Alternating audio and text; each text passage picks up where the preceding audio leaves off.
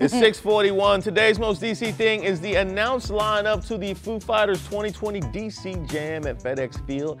Not only are the bands fronted by our area's own Dave Grohl, but the poster is designed in the style of classic go-go. All those posters we can see all over the region for decades. The incredible attention to detail, the patriotic color scheme, even the fact they put the go-go's right prominently in the middle, as well as the rest of the stellar lineup for the event, make it today's most DC thing. Only way it would be more DC is if, you know, I magically got free tickets. I'm just saying, I love the Foo Fighters. If you see a Most DC thing, hit me up on social media at Reese Waters on Twitter, Facebook, and Instagram, or email rwaters at WUSA9.com. And don't even forget to use the hashtag GetUpDC. I even saw Sonic Highways, Dave Grohl, if you're watching. Spring is almost here.